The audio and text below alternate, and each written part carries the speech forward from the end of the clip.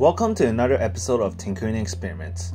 In this episode, we'll be continuing our last experiment of exposing PLA filament to bleach and finding out whether or not there will be a reaction to it.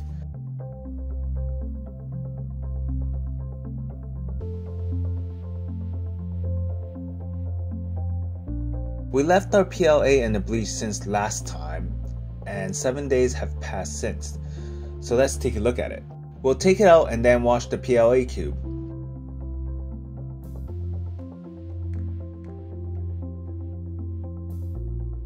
It seems like the bleach didn't do anything to the cube at all despite leaving it in for a longer period of time.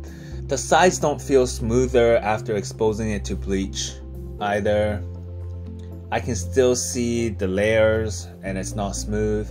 Here's a side to side comparison to a cube that wasn't exposed to bleach for 5 days. Now that you put it beside each other, they look identical. I don't see any difference between the two after all.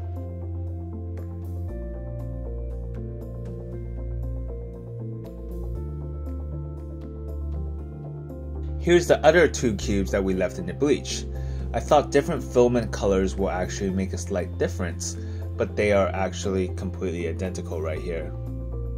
Here's the green cube that wasn't exposed to bleach for comparison. They all look completely the same. Well, there we have it. We tried exposing filament to bleach, and after leaving it in for 7 days, I guess we have conclusive proof that we can say that bleach doesn't work on PLA. Unfortunately, we'll just have to look into another chemical or a method to smooth PLA.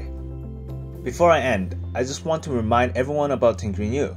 The platform has a lot of teaching resources like 3D printing courses, STEAM challenges, and a lot of resources for you. So be sure to check it out.